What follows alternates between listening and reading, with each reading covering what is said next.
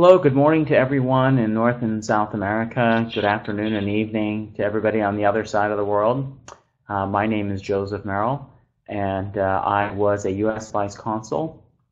Uh, I served in the State Department for a number of years, and for a part of my time, uh, I managed a visa team, and we issued a lot of visas. And uh, I've seen and, and conducted a very large number of student visa interviews, and have seen a lot of students. I've seen students that have interviewed really well and some students that interviewed really poorly, and I'm hoping today that I can give you some practical advice to help you with your student visa interview.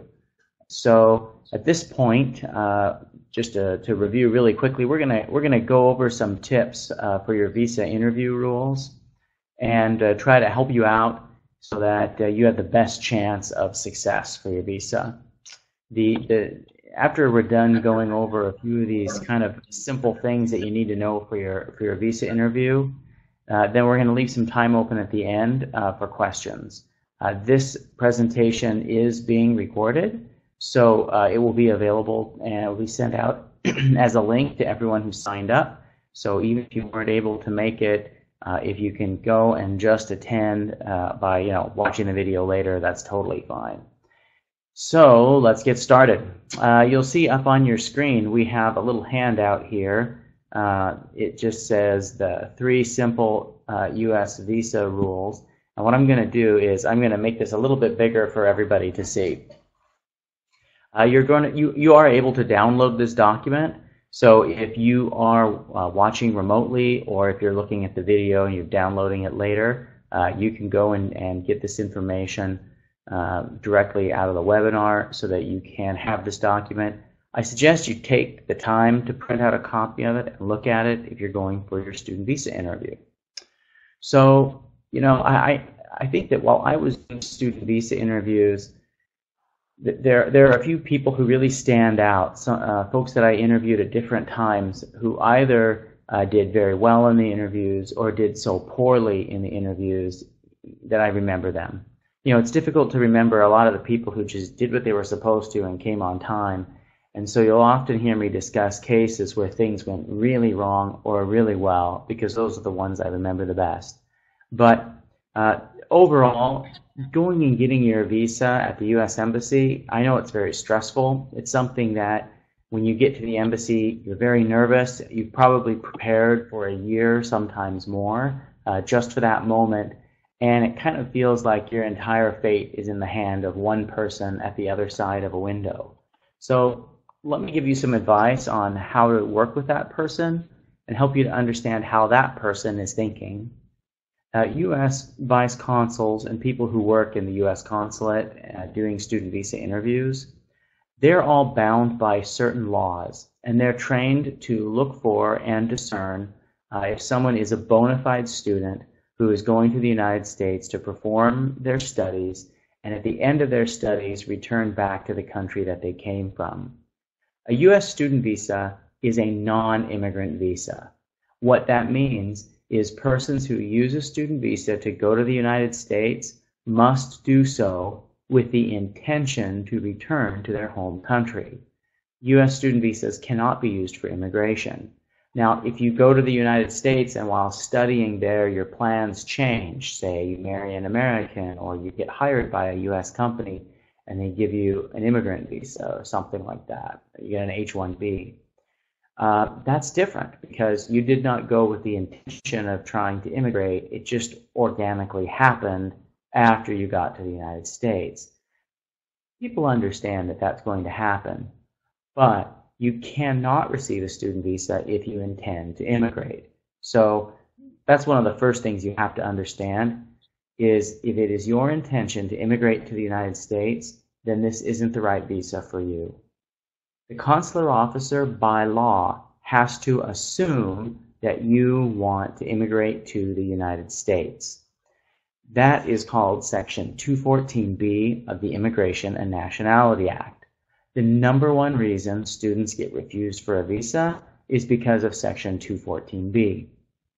So when you go in and you apply for your visa interview, just remember that the consular officer believes that you are trying to immigrate to the United States. because that's illegal to do on a student visa and he will refuse you. You have to prove to that consular officer otherwise, and you probably have about one minute or less to do it. They interview people all day long, and so you really have a very short window of time to demonstrate that you're a student. The only way you can overcome the presumption that you are an immigrant is by providing a compelling case showing that you have social, cultural, educational, and commercial ties that will compel you to come back to your home country. And so let's talk a little bit about how we can do this. So look at these are the three simple rules I've given for having a successful visa interview. Let's take a look. The first one is really simple. Be honest. A lot of times students feel like they have to lie to the consular officer. One of the interviewing techniques that works really well is to ask people a question that you already know the answer to and see if the person's telling you the truth. And a lot of times that's just on the DS-160. So the form you fill out when you go in for your interview, make sure you fill it out completely and accurately. One of the most common mistakes is that a student will not use their actual real address and phone number when they fill out the form. Instead, on the DS-160, they will put in the uh, the address or the phone number of the agent that's helping them. If you do that, then you're not answering that form accurately. And it's an easy way to get refused. And you can get refused really quickly. The consular officer is going to open up your application and be alerted that there are a large number of people with the same address. Because they don't know your real address and you haven't provided it, you just look like another fraudster Many times, if you don't put your real address on the DS-160, they will reject you without even asking you one question. You'll go up to the window and they'll say, you're not a bona fide student. They'll hand you the form back and you'll wonder, how can that person know anything about me? They didn't even ask me a question, but they think I'm fraudulent. Well, they, they think you're fraudulent because you didn't give them the correct home address and phone number. So make sure you do that. Um, secondly, if you have parents or siblings in the United States, you're asked to declare that on your DS-160. Many times, the embassy is already aware of the connection between you and that family member. Remember, they applied for a visa before you, and so the embassy already knows that your parent or siblings have a visa. And so if you do not answer that question honestly, they're going to refuse you. But if you do answer it honestly, it does make it harder to overcome the presumption of immigrant status because you do have immediate relatives living in the United States. But it's better to have a chance to get a visa than no chance at all. So please make sure you answer this honestly. Um, the question that you're going to be asked more than anything else when you go in is the second question why are you going to this school? And so they'll ask you sometimes what is your purpose of study in the United States? Or why are you going to the University of California to study economics? It's usually some variation of the same question, but the consular officer wants to know your story. What that means is, you know, why are you going? You need to really prepare how you think about this in advance you need to kind of understand. In fact, you do need to understand, and you need to be able to explain very quickly how that choice to go to that school to study that program of study is important for your life. And be confident. A good example would be if someone asks you, okay, why are you going to go study at United States University in San Diego? A good answer would be to explain to them, and let's say that you're you're going to go to do your MBA. So if you're going to USU in San Diego to do an MBA, you could tell the consular officer your story. And let's say your story is that you know you want to go get a better job and having a foreign credential in your hometown leads to better employment. That your parents, people that you know, they can help connect you with a job, but these jobs require a foreign degree. You want to go earn that degree. You want to do that degree in business with an MBA because you can come back in a supervisory role. That'll enable you to earn more money and provide a better living for your family. The way you answer that question is really important. It's important that you understand and can communicate why that school, as opposed to one of the 2,000 other U.S. universities, is the one you want to go to. You need to be able to explain why that degree program will help you to return to your home country and how it will help you so that you can get a job. You know, sometimes people have some pretty messed up answers. Uh, you'll ask people, why are you going to that school? And they'll say, because I want to make a lot of money. Or sometimes they'll just say, yeah, I want to go to that school and study so that I can work in the United States someday. Well, if you say that, you're pretty much guaranteeing that you're going to get rejected.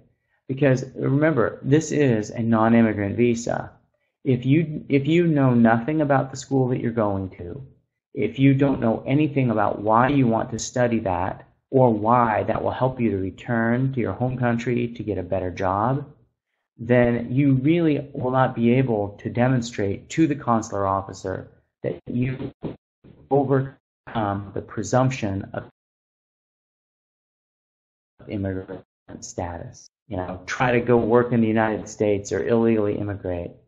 Because think about it this way. When you go to college in the United States, you have a lot of money invested in that. You're usually, for a master's degree, at a minimum, you will take two years away from whatever job you have. You will spend somewhere between twenty-five to a hundred thousand dollars for your MBA and you really can't explain to the consular officer why you're doing it, that just doesn't make sense.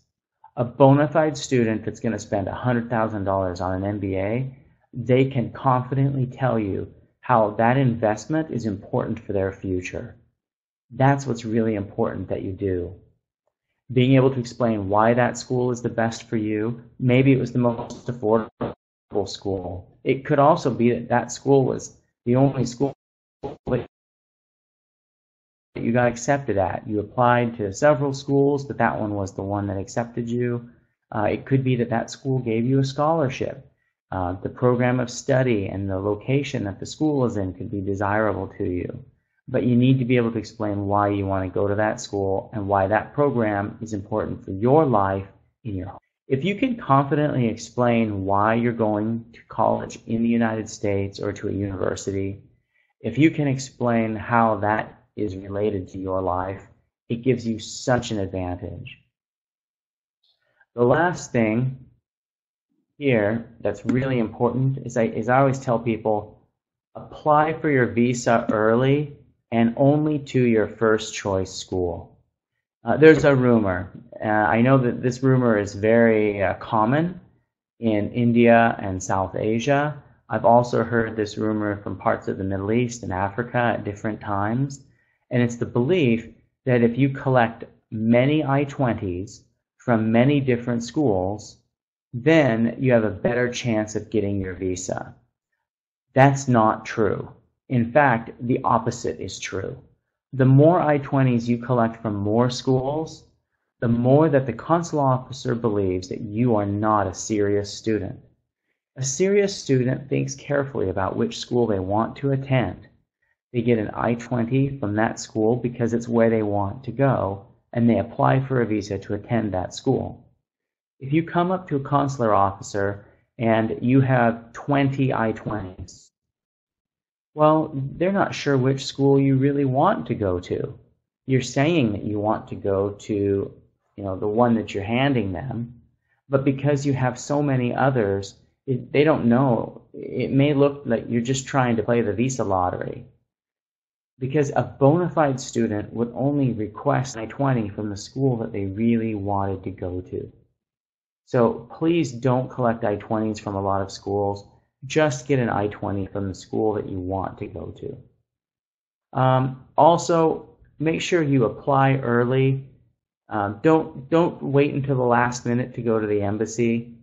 Uh, that's really it's so hard. In August and September, the embassy is so busy trying to accommodate so many students that if you go in and you say, look, school starts on Monday and it's Friday and you need a visa interview, they may not be able to help you because other people planned in advance. Often during those times of year when the embassy is really busy, consular officers will work extra hours. Now, in the United States, you know, you don't get paid overtime sometimes. So these people, they're there working late at the embassy to help you, not because they're getting paid anymore, but because they want to help you and they're trying to help these foreign students so that they can get their visa. Don't be someone who makes that problem worse. Please make sure you apply as far in advance as you can. The last piece of advice here at the bottom, you'll see a little heart. Uh, that heart is a really little American heart. Uh, that's a very, very important point. Uh, when you're at the window and you're doing your interview, you can sometimes be refused. Okay? Um, if, if the visa officer refuses you, the, what you need to do and what you need to remember is to ask the visa officer for a supervisory review. So they refuse you, they give you a letter of explanation saying why you were refused. Go and say, thank you, thank you, but I would like to have your supervisor uh, give my case a review. If you request a supervisor review your case, the consular officer must go and get their supervisor. The supervisor will come back and they will conduct another interview. Sometimes in that second interview, you will get your visa. Supervisory reviews are really helpful, especially when the person interviewing you is a new consular officer. New consular officers are not familiar with local culture and customs. They're most likely to make mistakes. And so when the supervisor comes, and you request a supervisory review, they will conduct another interview and you have another chance to make your case. Now, I've heard of at least one person who requested a supervisory review and the person at the window who did their interview was the supervisor. So that's a rare uh, problem, but it can happen. So don't be discouraged. Ask for your supervisory review. Hopefully that will give you a second chance to make your case and someone who will listen to your case unbiased and give you, you know, another chance. So those are kind of my three tips for your visa interview. Make sure that you apply early, that you have plenty of time uh, to apply for your visa, that you are prepared to answer that school, and that you're really honest, and that you fill out the form completely. And last but not least, make sure you smile and make eye contact in the interview. Um, just you know that being confident, it just it, it, carries so much weight. All right, so I've talked quite a bit. Uh, if anyone has a question, I'm going to go into the chat section right now, and I'm going to type a quick line. Does anyone have a question? If you have a question, you can add your question right in here, and we'll answer them. Excuse me. Give everyone a second to ask any questions they have.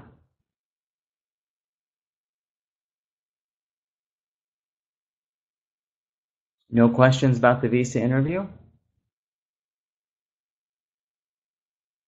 Hi, Vinci, how are you? Are you a student preparing for your visa?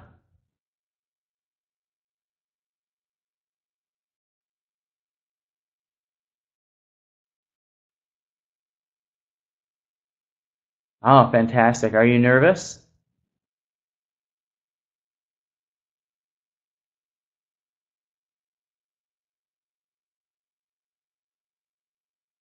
Oh, fantastic. I love it when students are not nervous because you shouldn't. And Vinci, let me tell you, um, somewhere around 75% of all student visas are issued. So the vast majority of people who apply for a visa get a visa. There's all these rumors that everybody gets refused, and the reality is most people get their visas. So, Vincy, are you? Do you feel prepared for your interview? Are you ready to go?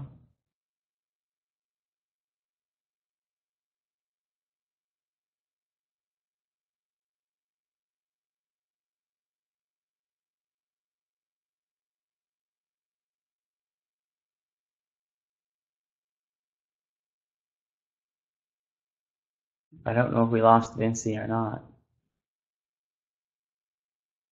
Well, I, I don't think we have any other questions from anybody, so we'll finish the webinar. Uh, I just want to thank everybody for coming, and uh, hopefully you'll have good success with your interviews. Uh, I wish you the best in your studies in the United States, and I hope that everyone is going to be really uh, successful. Ah, Vinci, I can I can see your answer. Oh, you're in Chennai. I have a really good friend. Uh, he used to run the uh, visa section in Chennai. Uh, he, he's an outstanding consular officer. Uh, that's a very well-run consulate. Uh, I can't hear you, but I can see you're typing. If you have anything to say, you're gonna have to type it in there. Yeah. Yeah. Okay. Well, with no further questions, we just want to thank everybody for coming this morning.